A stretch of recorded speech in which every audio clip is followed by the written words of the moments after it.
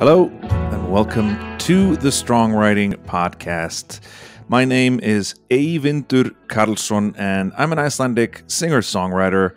I want to bring songwriters together so we can help each other bring more great music into the world, making it a slightly better place, one song at a time. Um, this is the first time I'm doing this on video, so uh, let's hope uh, we all enjoy that. Uh, but of course, the audio version will be up, same as usual. My guest today is Nick Morrison, uh, an amazing guy I just came in contact with. Nick is uh, an Amazon number one best-selling author, professional musician, composer, teacher, narrator, voice actor, YouTube creator, actor, and music media consultant from Calgary, Alberta. Um, he's toured throughout the United States, Canada, and Japan as a guitarist, worked as a session musician and writer composer for Warner Brothers, Universal Studios, Sony, MTV, ABC, NBC, HGTV, HBO, and more.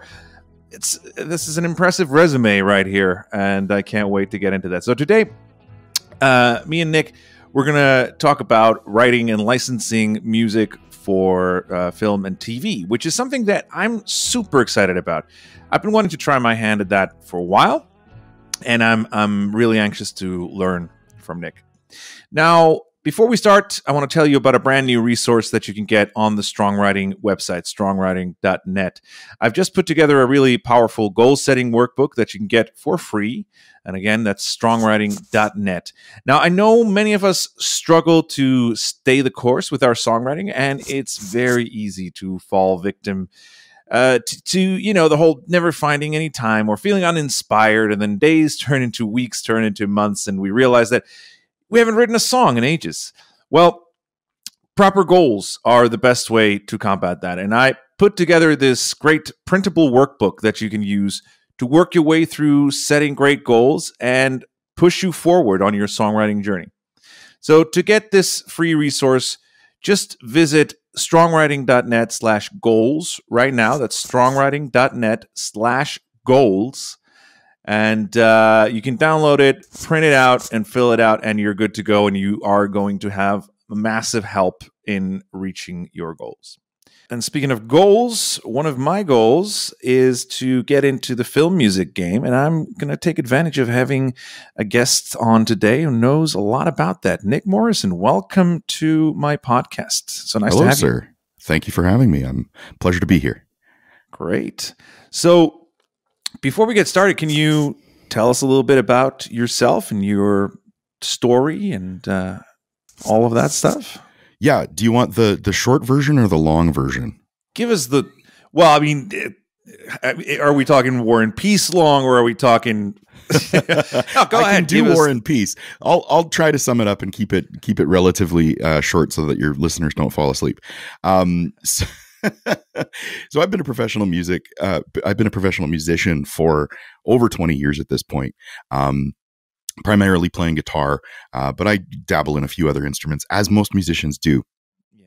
And uh, around uh, 2008, 2009, I decided that I didn't really want to be playing uh, in front of people as much anymore and being touring and, you know, um, looking for ways to expand my earning potential rather than just me on stage playing or me in studio playing uh, or even me in studio creating and writing but i was looking for ways to expand my my income. And of course the internet being what it was the big you know topic and i'm sure you've seen it if you watch any sort of youtube or anything is passive income passive income passive passive income, income yeah. Uh, which is of course a myth but um, of course.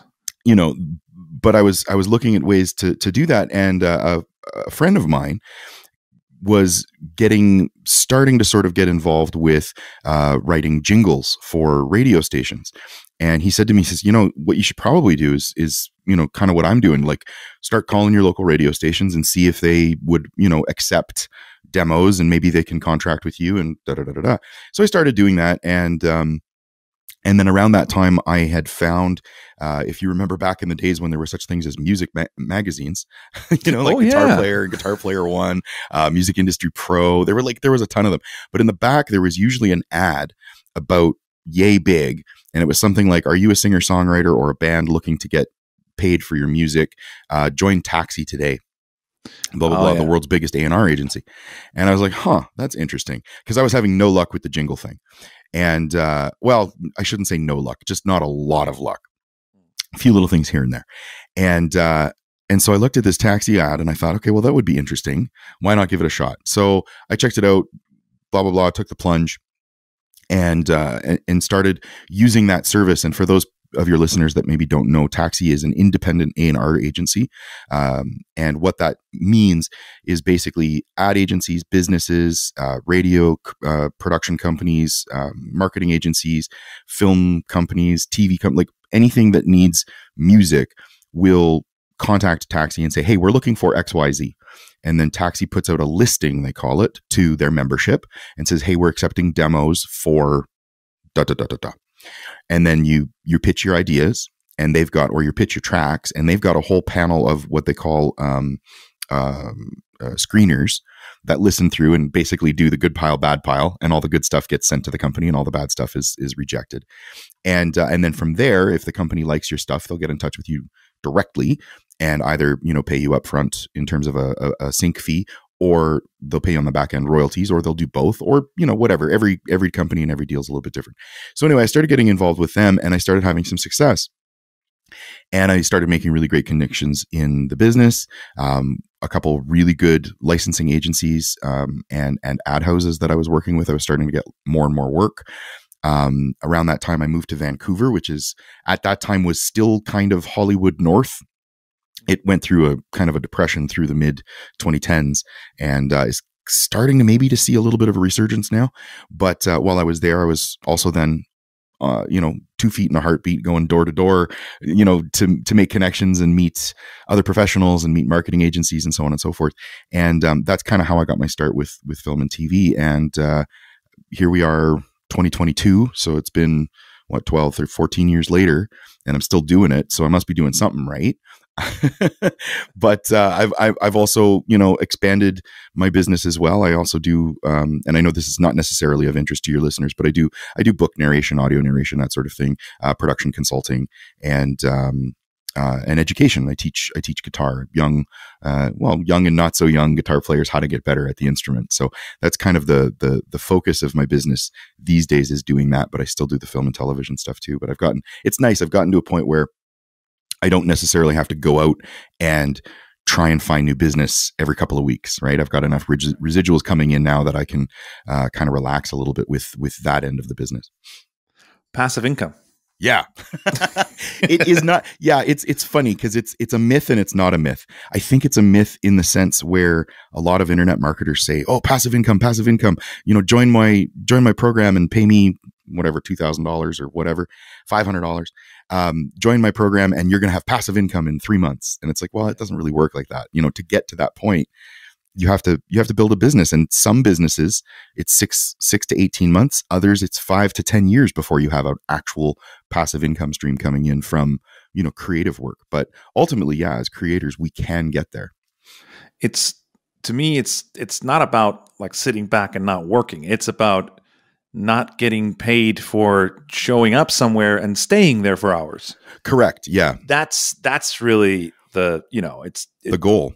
Yeah, that's the goal of, you know, totally not not being not, you know, being a gigging musician. Yeah, which is also fun. Um yeah. of course COVID notwithstanding, I mean, I haven't I haven't really gigged uh, in the past yeah. almost 3 years, but yeah.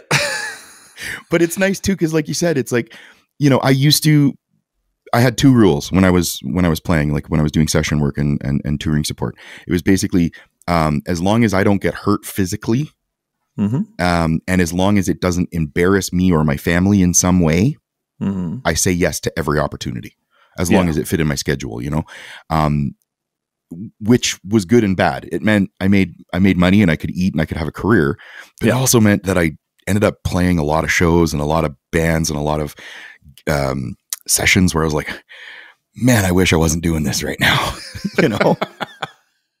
and and now you know i have that ability if something comes in i can i can look at it and say wow thank you so much for the offer. I'm touched that you thought of me but i'm you know i'm just too busy right now. I can't i can't take that project on you know?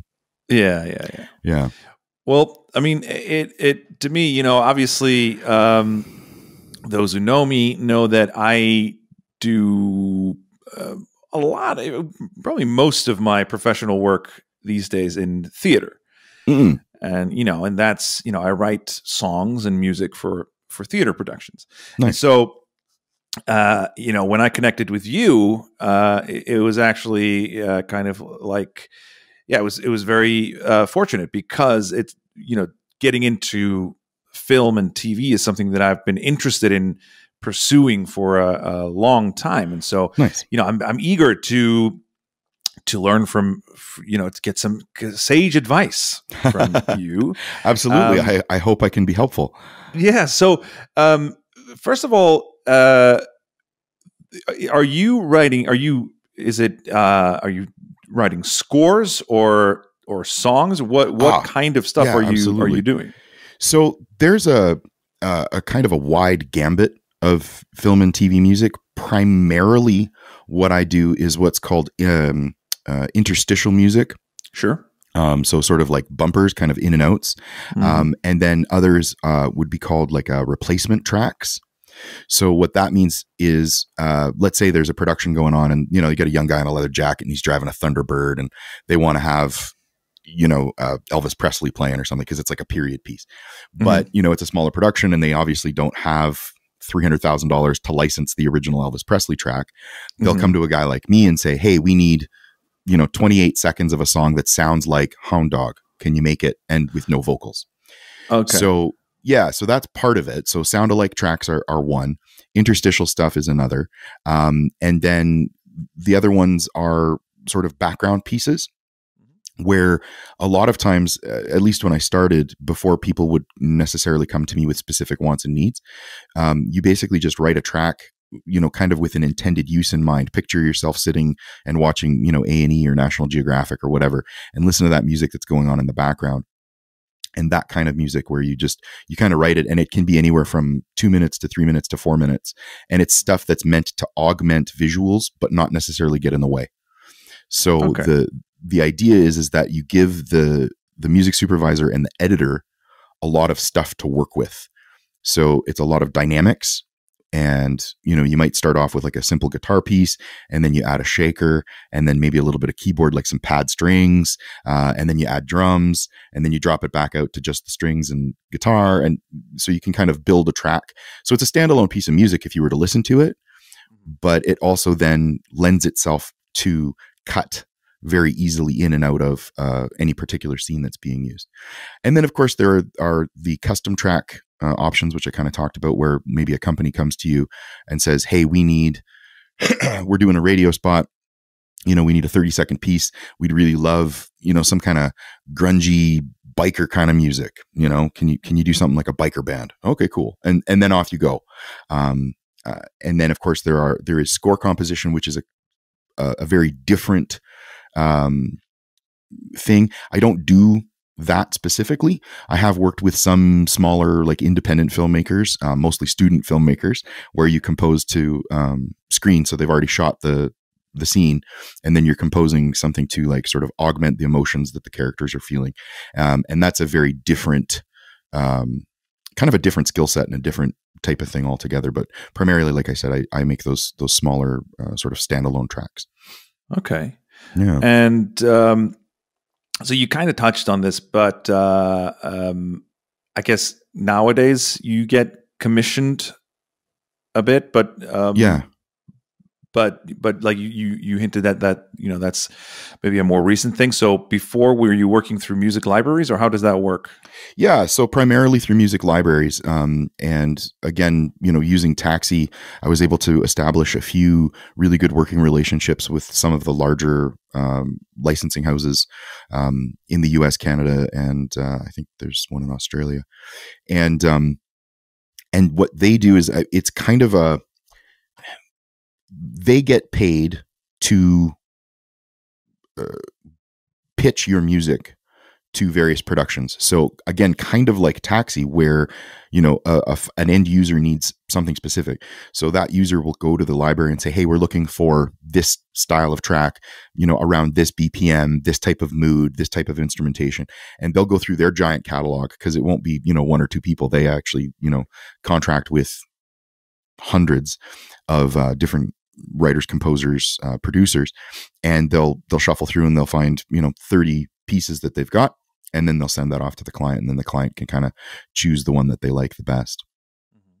Yeah, which is which is fun because that allows you to kind of get creative with stuff, and if you're if you're doing uh, like sync fee placements, um, or even just royalty placements, but like if you're doing that kind of stuff, it gives you a bit more uh, creative freedom where you can kind of just be like, well, this is the style of music that I create, and I'm going to just make track, track, track, track, track, track, track, and then you send it to them.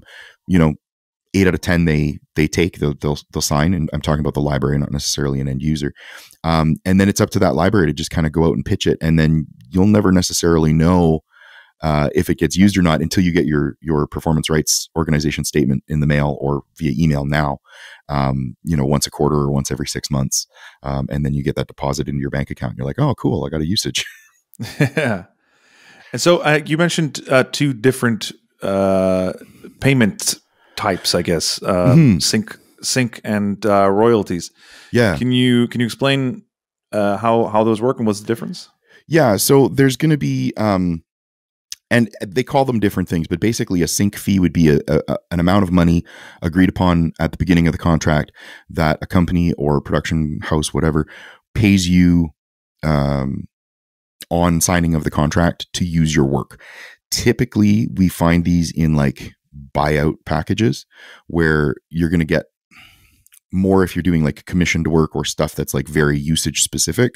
So like hey we want to buy xyz track from you and then you get paid X number of dollars up front for it. And typically then that also will include something in the in the contract where they're not going to pay you royalties on the back end. Although sometimes they do both. Um, so that's that's like an upfront fee, and this is the what's called a sync fee or a mechanical license, basically for them to uh, or to uh, use your music on uh, a media usage, right? So on TV, on in a film, over the internet, whatever. Then the the other thing is royalties or performance royalties, and this is a set fee standardized by um, in the states. There's BMI and ASCAP. Canada we have SOCAN. Um, I'm not sure what would exist where you are, but I'm sure there's a performance rate society of some sort. Yeah, yeah, yeah. And they're in charge of uh, sort of setting rates and collecting fees. So every time that production uh, airs, you know, um, a percentage of the profits from that show being on ABC, NBC, CBS, whatever, gets paid to the writers, the creators, the producers, the music, the musicians, the composers, that kind of stuff. Um, and that's where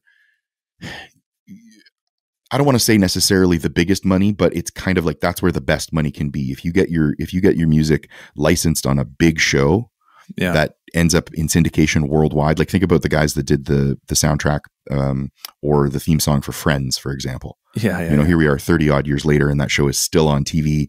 150 odd countries around the world. Sure. Like, boom, you're done. You're set. You're good. Like that's passive. That's real passive income. You know. Oh yeah. um, but that's yeah, that's kind of the dream. Does that kind of uh, yeah, yeah, yeah. yeah. Okay, that cool. makes sense. Yeah, yeah.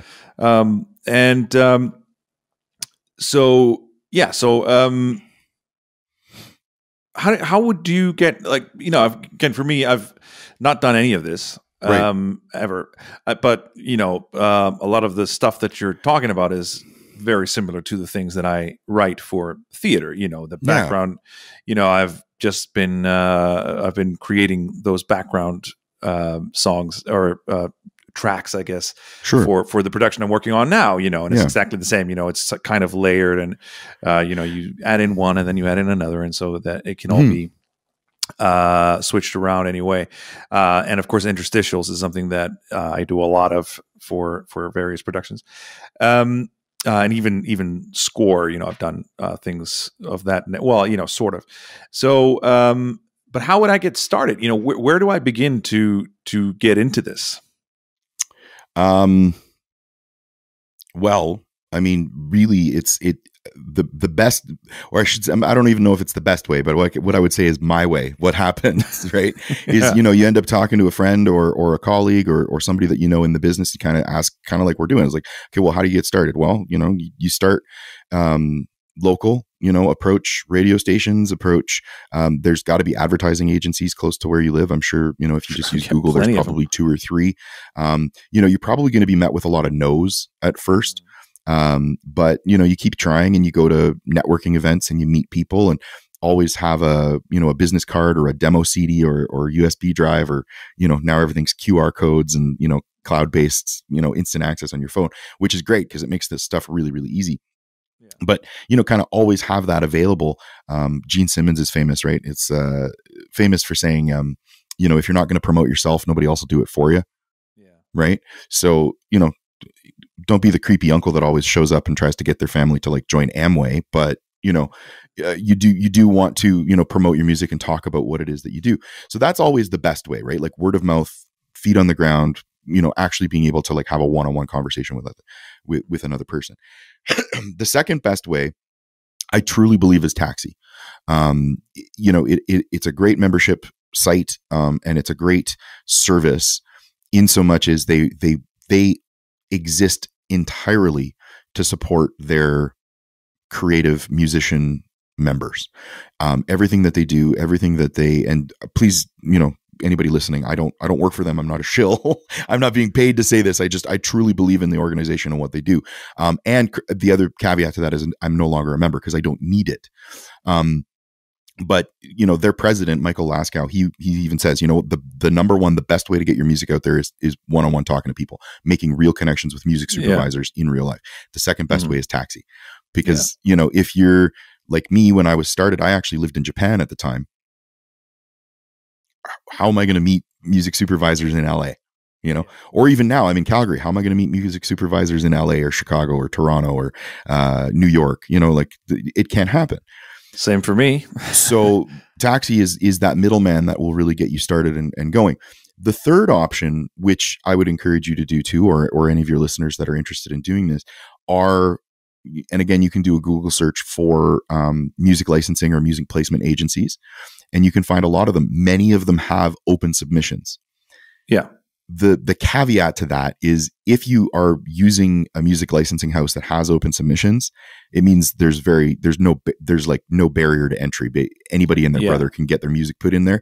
So what you'll find is that those places it's a bit of a needle in a haystack where they'll have hundreds of thousands of composers, you know, submitting millions of songs Yeah. And it's a huge repository, but there's really not necessarily a ton of quality.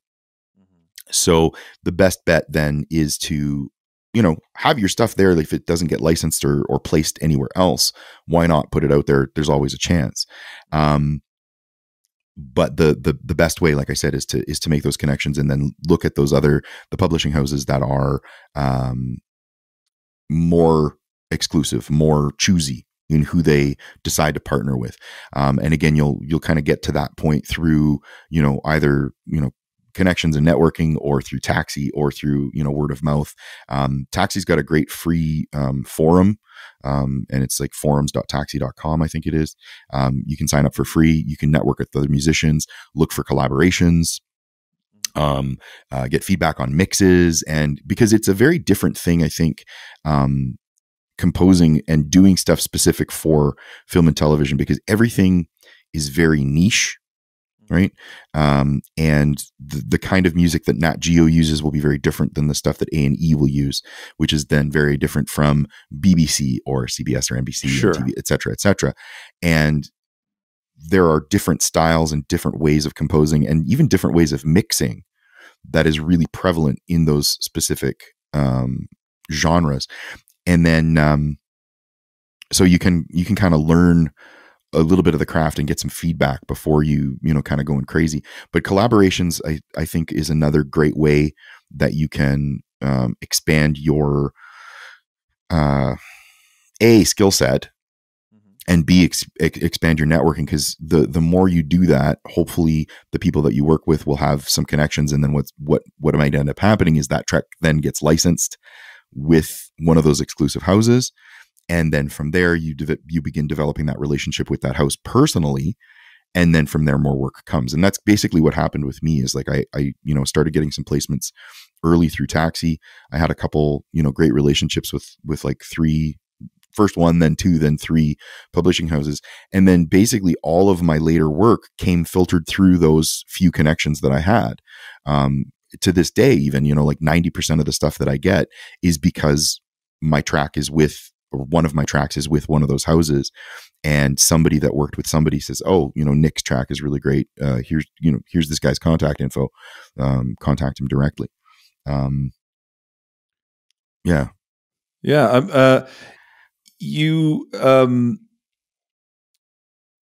you mentioned uh, those uh, houses that you um, you know that you've um, kind of gotten in contact with through taxi and through your work yeah. um, and i know that there are you know various different kinds of you know there are i know licensing companies that work primarily for commercials and others that work for yeah. tv and others that you know work more for uh, individuals and things yeah there's like um, boutique houses yeah boutique um, houses that was a word yeah. i was looking for yeah uh, and so uh, and and also like they have different deals. So some of them are you know you sign your the stuff you know your music to them exclusively and others you don't uh, is there a you know are, are, there guidelines that you need to keep in mind let's say i would go out and uh, you know again because uh, you know I, I do live on a rock in the middle of the atlantic ocean right. so it i my my uh, uh, options when it comes i mean obviously i can you know network in my local area but if i yeah. wanted to expand to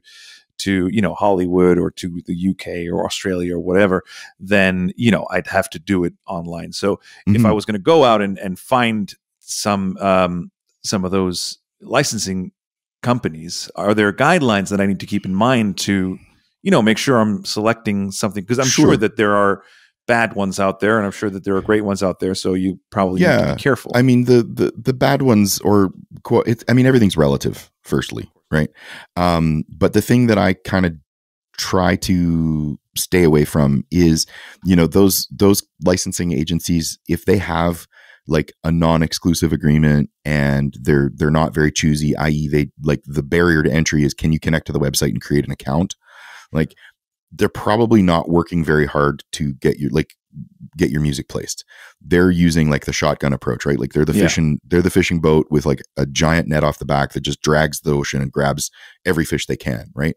Whereas like a boutique house or a very specialty placement agency will be only looking to license music that they know, understand, love, um, or get a sense that they they 100% will be able to place it and get paid to do so.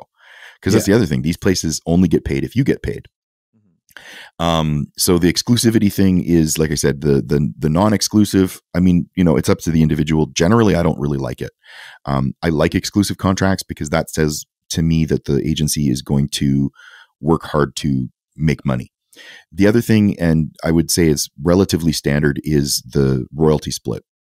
So what ends up happening, and I know a lot of new um, new composers or, or new licensors tend to sort of prickle uh, when I tell them this, but the, the standard rate is a 50 50 split. Mm-hmm. So what ends up happening is you own 100% of your copyright because you yeah, should, and you own um, mechanical production rights, i.e., for like CDs, uh, or, mm-hmm. you know mm-hmm. that kind of stuff to reproduce your music. But what you do is you split the the publishing royalties 50-50 with the right. licensing agency and a lot of people go wow my god 50 like that's that's half of my my income. And you know i often i usually look at it like well you know if you're if you're brand new and you're unknown this is your best chance to get your music heard. Yeah. Um and would you rather have 50% of something or 100% of nothing? Exactly like yeah. your music's not going to make any money if nobody hears it. These people have the lawyers the connections the music supervisor like all of the stuff. They're an entire marketing team that yeah. you pay nothing for unless they make money with your music and then you split. So to me, it, it seems like a perfectly fair business deal. Yeah. Now, once you establish a relationship with one of those houses, you know, you get into, you know, your 100th or 200th track with them or whatever, you know, enough times gone by, or, you know, maybe uh, what'll happen is usually they will sign your tracks for a period of anywhere between two and let's say 10 years. You know, once the, the, the licensing agreement comes to an end, you can always renegotiate. And once that established, that business relationship has been established and you're looking to renegotiate, they may not want to keep you right? If they if they haven't made any money with you, then they probably won't keep your track. But if they have, they're going to want to keep it on board because they know that they'll be they'll be able to continue making money. But at that point, you you could broach the subject like, you know, hey, I'm really happy working with you guys. You guys, you know, made us we've made a, a lot of money together. It's been a good business relationship. Um, however, I'm I'm looking at or I'm thinking about you know maybe changing that royalty split. Could we do a 60 40 or a 75 25 you know that kind of thing? And they may and i'm not you know i'm not promising anything but they may be open to that um, once that is, that business relationship is established but certainly not right away. Um, so that's you know kind of one thing to consider. And then you know usage and territory rights uh, as well. I mean basically now with the age of the internet basically everything is you know universal or at least worldwide and and and again that's good. You want something like that because otherwise you know you're going to have to go and find somebody specifically in eurasia and you know uh, europe and then north america and then you know south america every time you have to go out and find a new house in every jurisdiction it's like oh man what a pain. Um, so you know if you can find an agency that's that's willing to look and place your stuff worldwide then then that's good news. Yeah. Yeah um and uh i just uh, really quickly because um, you you know you talked a lot about taxi and and uh, you know when I was just sort of doing a little bit of research, um, you know I read some articles and and um, and one of the things that I saw was you know people sort of warned against uh, sites like Taxi mm. just for the fact that it's you know you need to pay yep. to use it. Yep. Uh, but um, from what it sounds like to me, you know, it seems like a good. Although, uh, I mean, uh, yeah, it seems like a good way to get like get your foot in the door and get some experience going. Yeah. And also, um, one of the reasons that I actually have looked at Taxi is that it's a great place to get feedback because yeah, you get you get a written thing, right? With yes. feedback on your music. Yeah, an actual so, written feedback on your music in terms of your mix, um, yeah. songwriting, build, crescendo. Like they'll, they'll give you technical feedback um, yeah. on it as so well. and to if, me is is you know you're you're you're paying for it's it's an educational thing. Totally. So totally. That was just a, an aside. Uh, yeah. Before I mean, it slipped my mind. yeah. I think a lot of people, again, it's like the 50 50 split thing, you know, uh, when somebody's, and I understand it, right? They're they're just starting out. They're like, well, I don't really have any money, or you know, I have yeah. a very limited budget, or what. It's not that expensive. I think it's like three hundred bucks a year, or something like that. Um, and you know, I think the part of it that where it comes from, I think there's an old adage, right? Like, never pay somebody to listen to your music. Yeah. But I think what that is in reference to specifically is like, if you're a band excuse me, with like an album and you're looking to get, um, you know, a management deal or you're looking to make a record deal or you're looking yeah. at that kind of thing, you don't want to pay people to necessarily listen to your music to be like, yeah, it's great or no, it's not or whatever. Um, yeah. Unless that person that you're paying for the service is asking a reasonable to very low sum of money and mm-hmm. the connections, network, and education that you're going to get from that person and sort of professional development you're going to get from that person yeah. is actually worthwhile. And in the in the case of taxi, I think it is. And you you you said it perfectly, right? Like you're getting an education, you're getting feedback, you're getting professional um, structure to yeah. to learn about the business. Um, and so for me, you know, it, it's kind of a no brainer. It just it just makes sense. Um, to be able to do that. Can you do it without taxi? Absolutely. You know, you can do anything without anybody. You know, the, again, this yeah. is the age of the internet. It's 2022. You know, you could put up a track on on YouTube and somebody could hear it and get in contact with you and great, cool, awesome. Let's let's work out a deal. But the chances yeah. of that happening are fairly low because there's so much noise online. Yeah, yeah, you that's know? the thing. And you know, um it, you know, a lot of people um enter songwriting competitions, mm. right? And that's a- another education opportunity because totally. you get uh, uh, feedback from that. The chances of winning uh, songwriting competition, no matter how great your songs are, yeah. I mean, it's it's just the odds are low because there are yeah. so many people competing for it. And yeah. if you think about it, uh, submitting a song to Taxi, your odds of making money are probably higher, just statistically speaking. Yes um, you know, there are more people making money from that than from winning competitions. hundred percent. hundred And percent. uh, so, you know, and, and obviously it costs money to enter those competitions and in some Sure. cases quite a lot of money. And Yeah. so, you know, Well, and again, you know, you, you look at the the listings and, and the way they write them.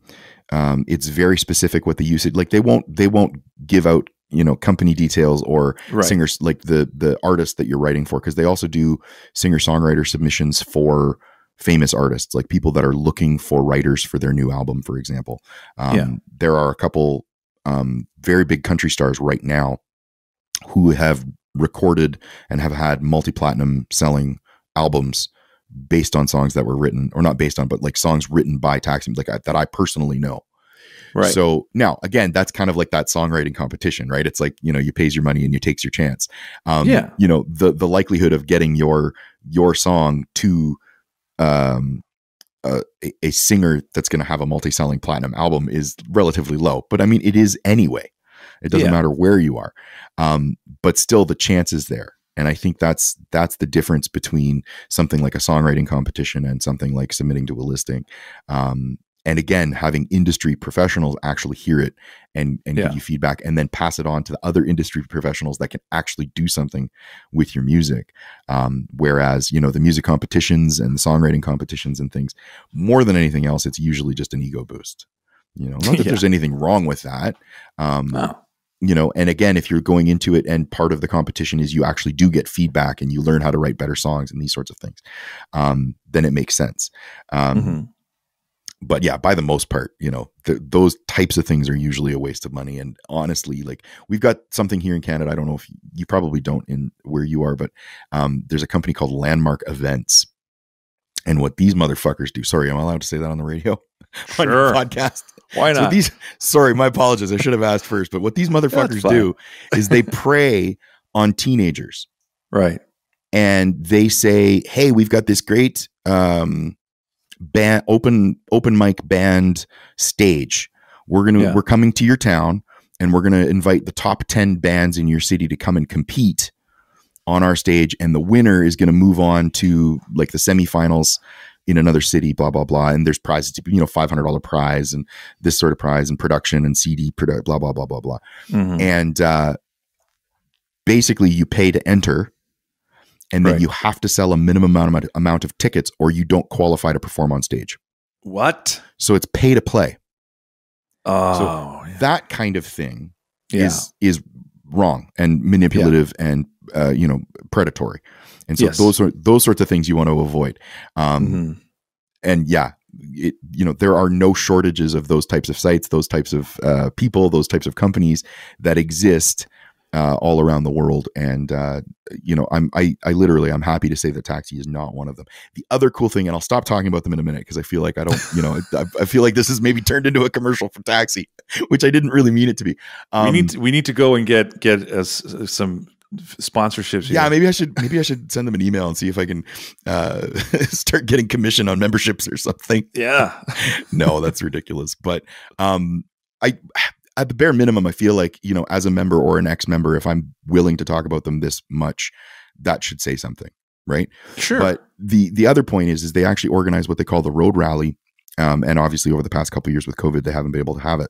Although they haven't done a virtual uh, meetup event, but they Mhm. actually host a big weekend long. I think it's uh, four or five days now, where they they they rent out an entire hotel and a ballroom or several ballrooms and conference rooms, and they bring all the members or every, every member that can come, um, all converge in that one spot for that weekend, and they invite industry panelists, they invite real A and R um, uh, people, they invite music supervisors, they look uh, for production company heads, marketing heads, all of this, and they all come, and you have a chance to mix and mingle and meet all of these Oh, industry yeah. professionals in one place.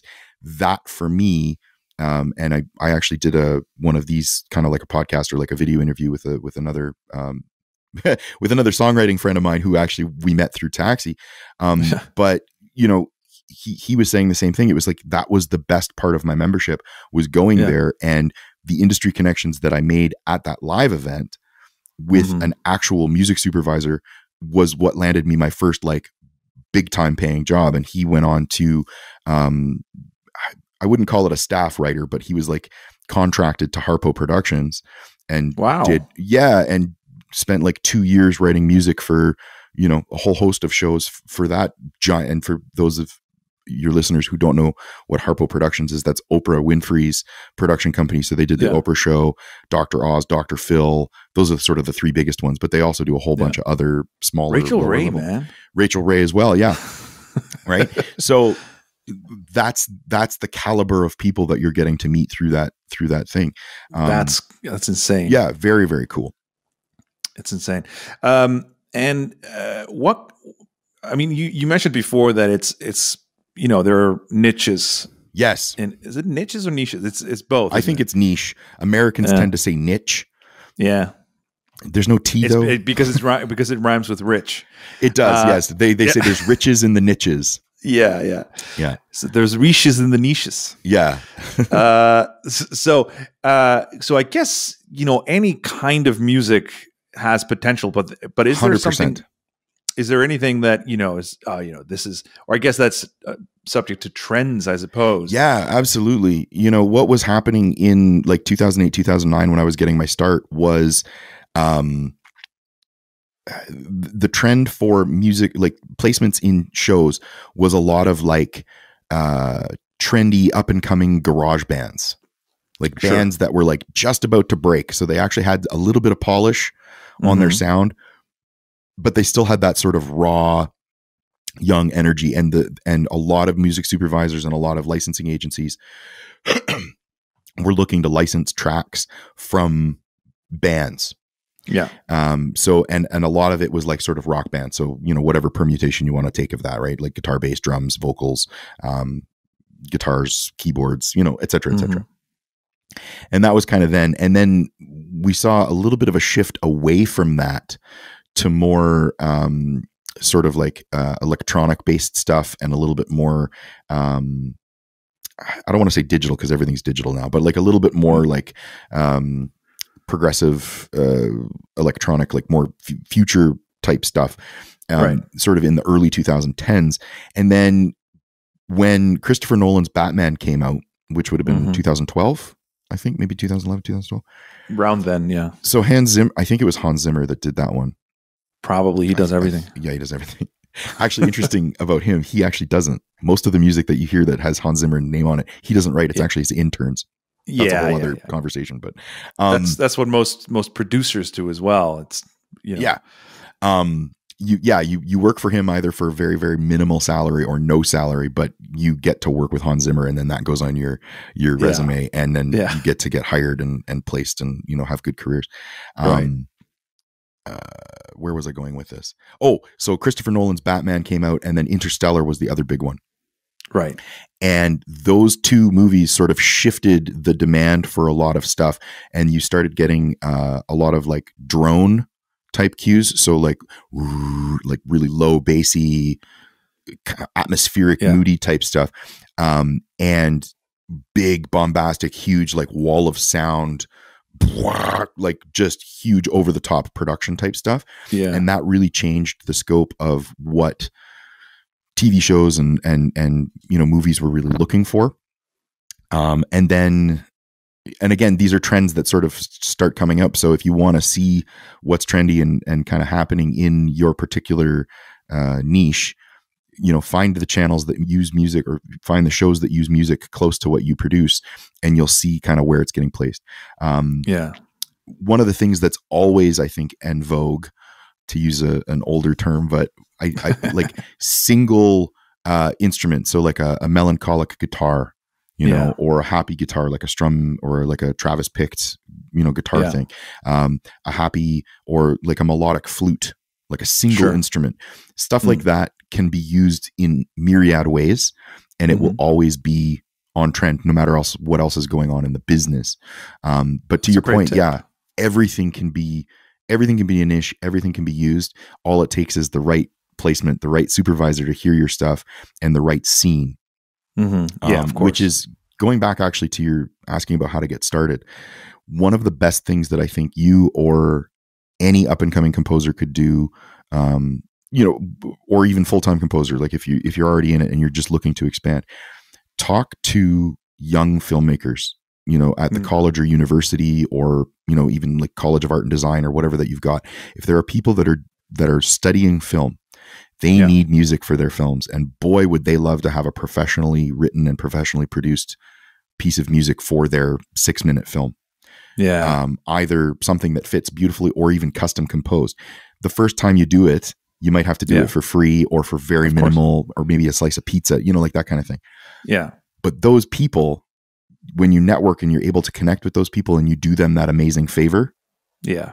you're providing killer value for their you know for their project for their work mm-hmm. for their for their portfolio they're going to remember you in five years six years seven years oh, eight yeah. years when now they get the big hollywood contract and they go yeah i remember i remember him. He he really helped me out. I'm going to give him a call. I wonder if he's still available. You know? Yeah.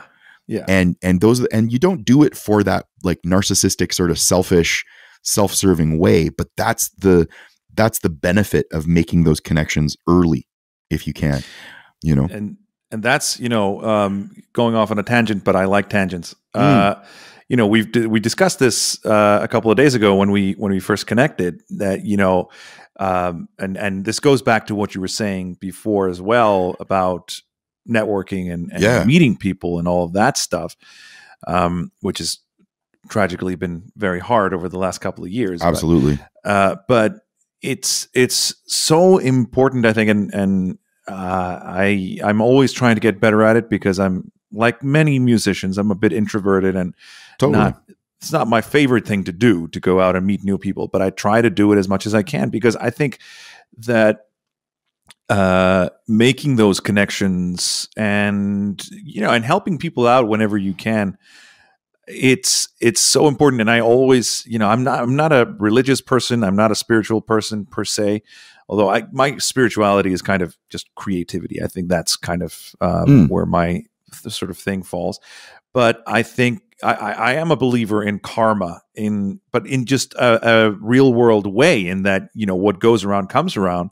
Totally. And you know if you if you make sure to treat the people around you good and you make sure to help people out whenever you can and um, you know give people you know just keep giving be a giver. Yes i think it, it, always comes back. Always. Um, and it's a small business. Yeah. You know music in general is a small business but when you start getting into film and tv it's very small. Yeah. you know there are a few players that are making really big money and then there's a few more that are making decent money like making a good living you know? Yeah. And then everybody else is kind of floundering right? Yeah. but like once you make it kind of past that that barrier where you can actually make some money and you're you know you've got some professional contacts and you're doing good work and people are recognizing you for it it's a mm-hmm. very small world it's a yeah. it's a, it's extremely small um and so yeah again it's just be good be a good person be be be easy to work with yeah you know uh do what you say you're going to do mm-hmm. and do it when you say you're going to do it right? yeah um, nothing nothing will end a contract with a with a music supervisor faster than you committing to a you know a two day le- a deadline and then missing it. Yeah. You know, yeah, yeah, yeah. No, uh, absolutely. Or, or not being able to deliver a change. Like once you've delivered your music, and they're like, "Oh my god, this is perfect. We love it." But we need actually. Can you button the end at three? Can you button the ending three seconds earlier? Mm-hmm. Which of mm-hmm. course means going back in and re-recording everything. Like it's not just like a cut and paste. I can't just edit right. three seconds off a piece of music. No. Um, but you have to be able to deliver that level and like you have i've gotten calls like this yeah. where they're like yeah we love it blah blah blah blah blah we need you to change da da da and we need that in six hours oh shit yeah. okay well i'm out to dinner with my wife right now but we're go- i'm going home and i'm getting this done you know yeah because yeah. you know that if you miss that opportunity and you can't deliver that bridge is now burned and they're never you know again there's always uh, gradations to this, but you know, you really don't get very many chances. Yeah. so yeah, again, yeah. you want to treat people like gold, and and uh, you know, nobody likes a diva. No. So be yeah. easy to work with, and and you'll get more work. Um, you know, and again, to the networking point, you know, be a good hang. You know, I don't know if you've ever been on the road uh, as a musician or if you've traveled with your theater uh, sure. groups or theater companies that you've worked for, but like you know who wants to hang out with the with the guy or the gal that's complaining about how lousy the coffee was and they didn't get enough to eat and they didn't get enough like I you know yeah. it's already stressful enough I don't want to listen to you bitch and moan. yeah.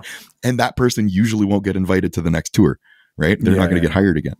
Um, yeah. So yeah, yeah. Uh, but you know, and I, that's this is you know, I'm uh, like deadlines and and uh, speed writing and all of that is kind of mm. my that's my bag. I I uh, I'm all about. I, I, always say you know the the faster you can write, the more you can write, and the more you write, the better you write. So, hundred percent. Um, so you know, I always you know they always say you know yeah quality over quantity, uh, but I say no because with quantity comes quality. Yes. You know, if you've only written five songs, then if they're all good, great. But then you're awesome. some kind of miracle person, and that's or you got weird. lucky. Yeah, or you got lucky, exactly. And then you know where are you going to be ten years down the line when you still only have five songs? Yes. So you know, yeah, uh, I'm all about that. And and uh, I I have the feeling that this, like so much of music in today's business, is a numbers game, right? You need to have totally. a lot of material. Yes. So, um, and I, I was kind of thinking because I I I do love setting goals. Um, uh, and uh, so let's say that uh, you know you wanted to to have a lot of stuff out there in mm-hmm.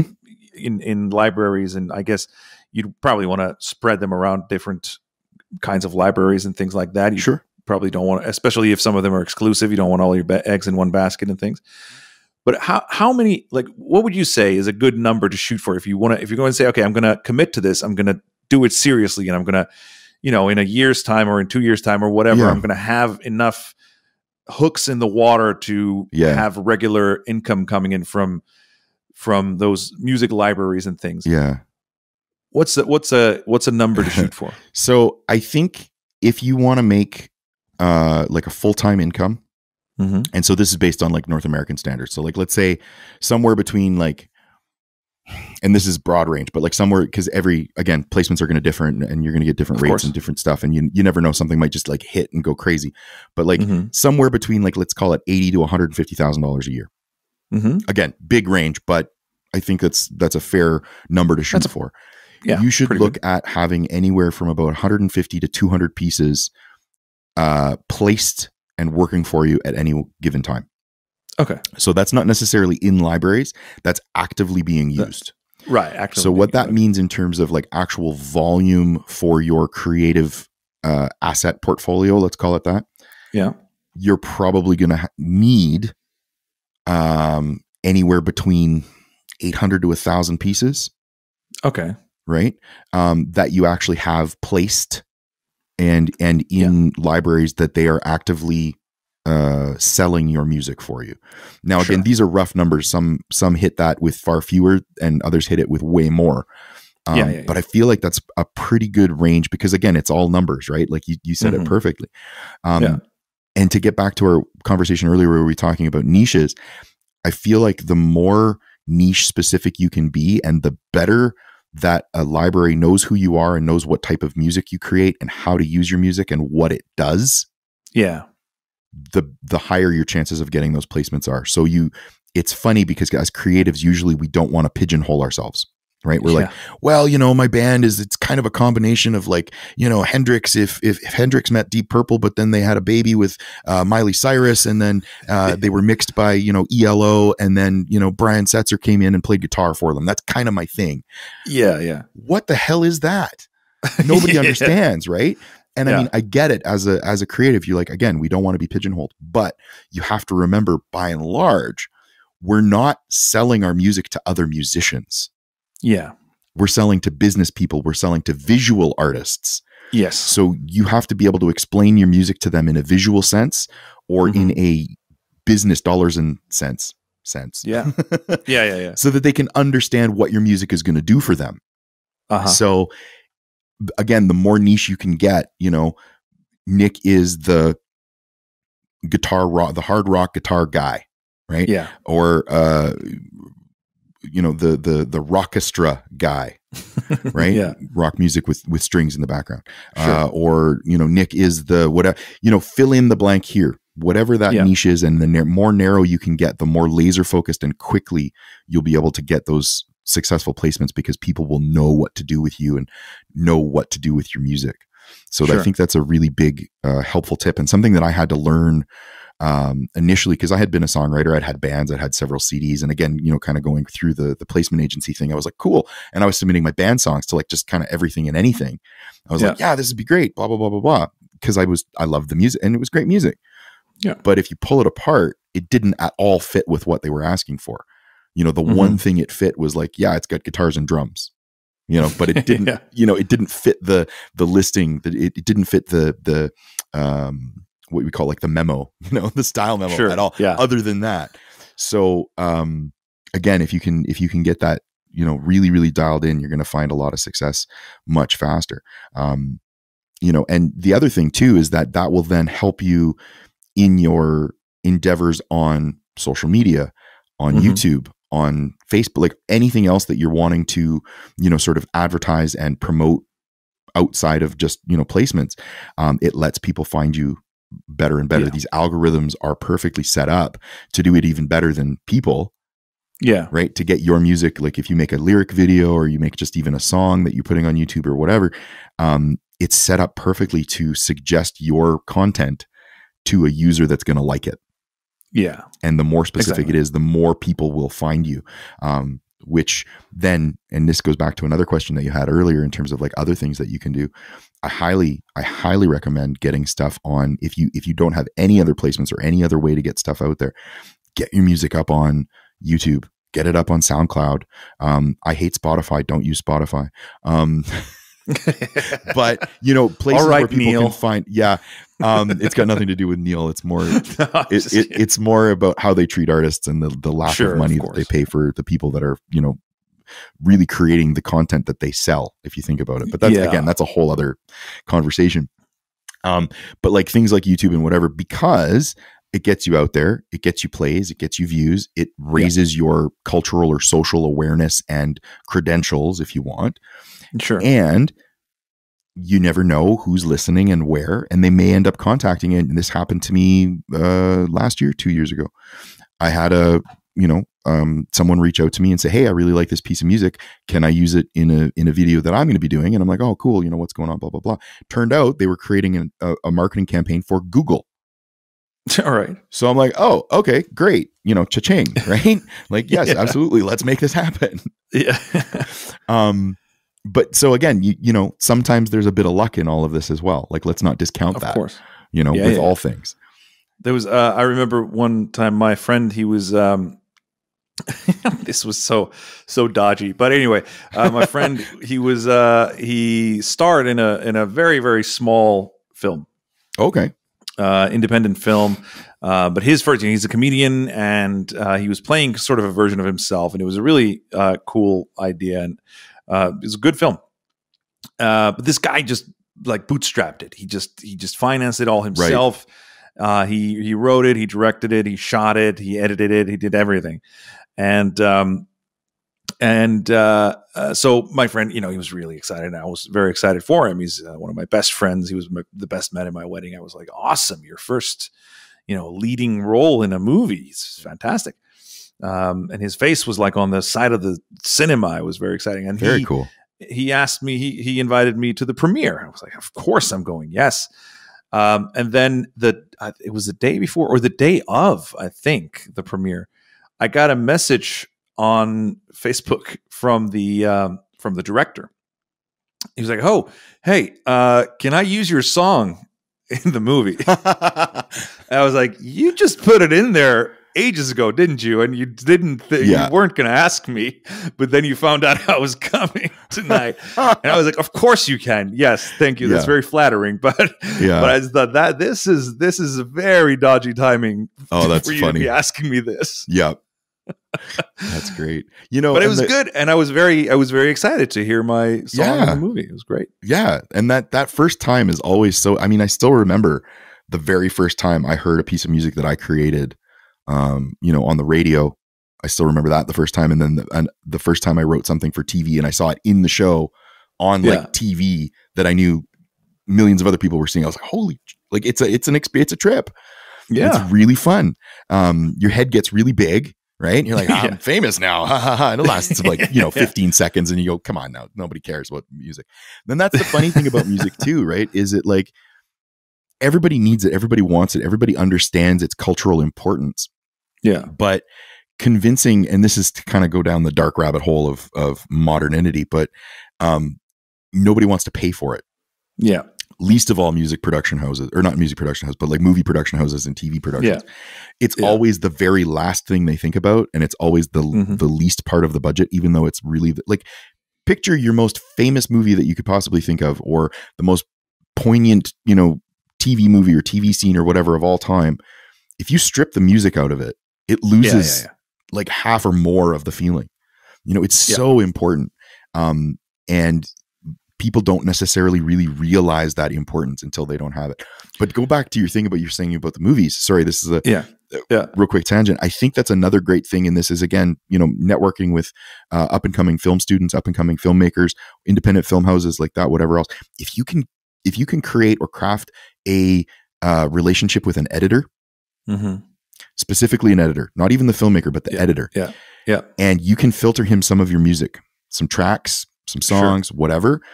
Get him, and what will end up happening, him or her, they'll end up using some of that music if they end up using some of their music in the cutting room as temporary tracks to cut the film to. Oh yeah. You've just like 10x the likelihood that your music is actually going to be in that film because Yeah. A, the editor is used to it, B, the producer and the director and whatever else will be used to seeing it. And then Mhm. when they try to replace said music with something else, it Yeah, won't yeah. feel right. exactly. Yeah. Yeah. And your music will end up getting used in the final cut.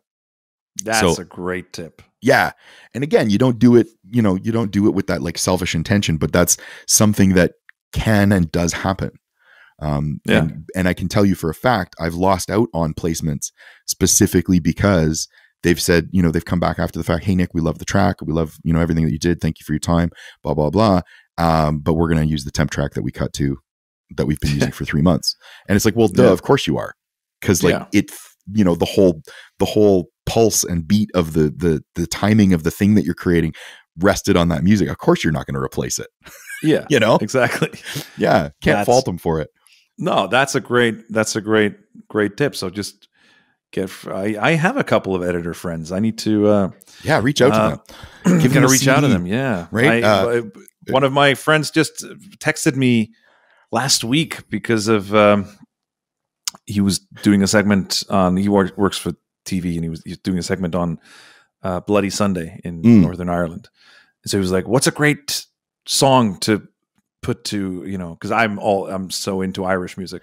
Right. So he's like, "What's a great song about the Troubles? What's a great?" So I, you know, I, I was like, "Well, of course you got to use the town I loved so well by the Dubliners. Go on." Yeah. and and so he was very happy. So, yeah, no, I on. need to. Uh, he actually knows my music pretty well, so he, uh, Yeah.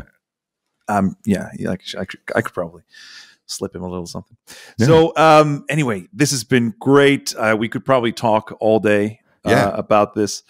Um, and um, you know, uh, yeah, I've had a ton of fun and I've learned a lot. So, uh, before we say goodbye, tell people uh, where they can find you and uh, and the stuff you do. Totally. Um, you can find me all over if you um, go to YouTube. Um, it's youtube.com slash samurai fingers. Samurai fingers. I got the fingers of a samurai when I play guitar. Um, I'm also on Twitter as Samurai Fingers, um, and uh, Facebook. I've got um, I've got a free group there, which is educational content for guitar players. So it's facebook.com slash groups slash the guitar dojo. Again, keeping with the Japanese theme. Did I mention I lived in Japan for about five years? Anyway, um, and uh, I, my website is guitardojo.ca. Yeah. Uh, or if you're looking for, you know, if anybody in your audience is looking for um, mu- music production service, consulting services, that sort of thing, they can find me morrisonmediagroup.com. And that's Cool. kind of the more, you know, stodgy, professional looking, you know, website that I refer people to if they've never seen me or never met me, like the business folk. Oh, yeah, morrisonmediagroup.com. And then you're like, oh, okay. And I mean, whatever, you know, some send me an email through there and we can get in touch. But uh, that's basically where where folks can find me. And, you know, I, I make weekly YouTube content and uh, teach guitar and have a fun, have fun, basically help people, you know, make music fun again. And uh, Yeah. yeah, All right. Yeah. And all of these links will be in the in the show notes, of course. totally. Uh, so Thank Nick you for having me. I appreciate it. Oh, thank you. This was a blast, and um, you know, um, so nice to meet you. So, uh, yeah, see you later. Awesome. Ciao.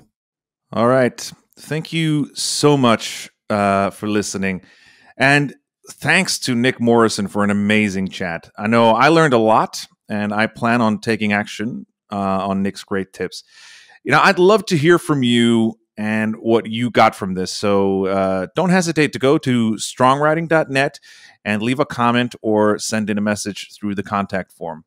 If you enjoy this podcast, please rem- remember to subscribe and uh, share it with everyone you know. And of course, if you leave uh, a review of the podcast, that really helps a lot. So, um, again, uh, thanks so much. And of course, if you want to uh, support the podcast, you can do so by uh, going to uh, strongwriting.net slash PayPal, where you can make uh, a contribution or donation. You can go to strongwriting.net slash Amazon the next time you feel like Amazon shopping. That will take you straight to Amazon. And um, I'll get a small percentage of your purchases. Uh, it won't cost you any extra, but you'll be helping me to bring you more shows. Or if you want to uh, get a free month's trial of uh, Audible, you can go to strongwriting.net slash audible, sign up for that, and I get a small kickback from that. But of course, um, the best thing you can do is to just keep listening, keep sharing, keep commenting, and uh, all of that good stuff. So thanks so much, and I will see you on the next episode. All right. Thanks a lot.